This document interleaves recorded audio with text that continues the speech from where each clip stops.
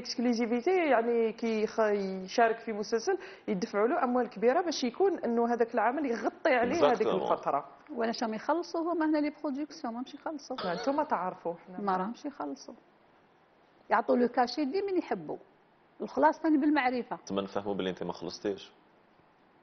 أنا ما يخلصونيش.